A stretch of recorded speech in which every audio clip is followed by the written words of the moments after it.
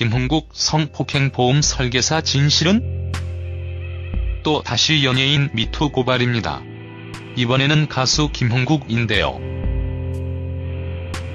김흥국 씨에게 성폭행 당했다는 30대 여성이 등장하여 진위 여부에 귀추가 주목됩니다. 해당 여성은 2년 전 보험 설계사로 일하며 지인의 소개로 김흥국을 알게 되었다고 하는데요. 2016년 11월에 김흥국 보험 지인들과 함께 식사를 하던 중 김흥국이 억지로 해당 여성에게 술을 먹였고 깨어나니 알몸 상태로 김흥국과 나란히 누워있었다고 합니다. 당시 그녀는 새벽에 머리가 너무 아파서 눈을 떴는데 자신이 옷이 다 벗겨진 채로 김흥국 옆에 누워있기에 깜짝 놀라 김흥국에게 뭐라 하니 김흥국 씨는 그녀에게 기억이 안 난다는 것은 핑계라며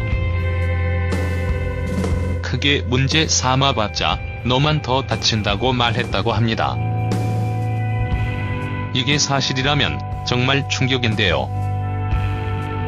성폭력을 가하고 문제 삼으면 너만 다친다니.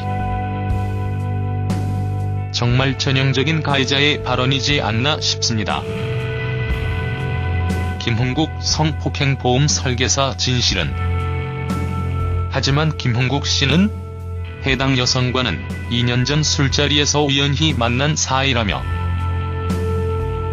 그저 술을 먹고 헤어졌을 뿐 성폭행은 전혀 없었다고 해명한 상태입니다. 허나 여성의 말에 따르면 김흥국 씨가 서로 좋아서 술자리를 했다며 서로 도울 수 있는 친구나 동생으로 만나고 싶었다고 내려놓으라는 내용의 문자도 보냈다고 하는데요. 그러나 그 후 술자리가 한 번 더 있었고 또 같은 일이 일어났다고 합니다. 그렇게 총 두 번의 성폭행을 당했다고 하는데요. 성폭행을 당했다는 여성과 그런 사실이 없다는 김흥국.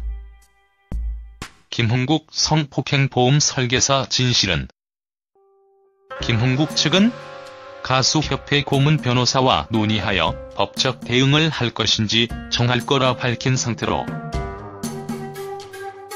진실을 두고 두 사람의 싸움이 시작될 것 같습니다. TV를 통해 부인과 딸을 몇 번이나 공개한 적이 있는 김흥국. 가족을 위해서라도 부디 사실이 아니길 바랍니다.